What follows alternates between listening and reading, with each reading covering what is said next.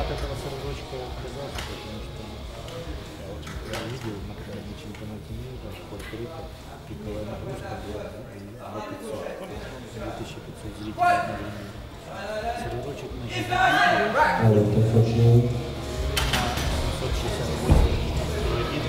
768 едет максимум